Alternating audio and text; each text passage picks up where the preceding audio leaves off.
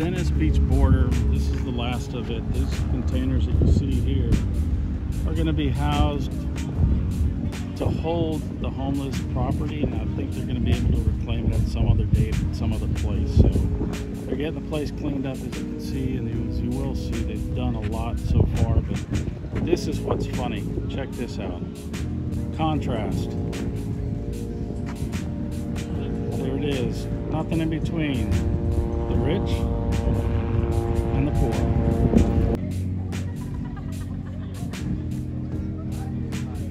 A lot of cleanup right there to be to be done. We see the, of course, those containers are going to hold their stuff, but still, it's just the trash that's left behind. The city's burdened to clean it up.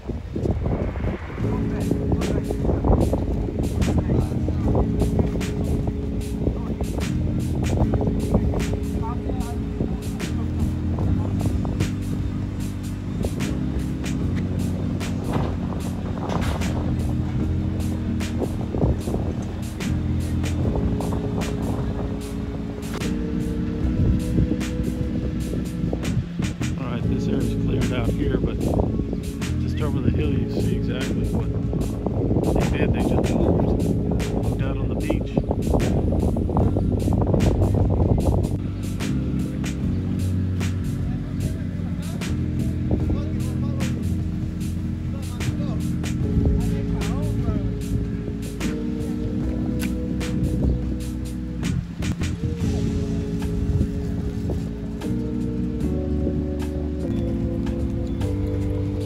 vendors can be on the sidewalk, the homeless cannot. So all they do is just what? Move off the sidewalk.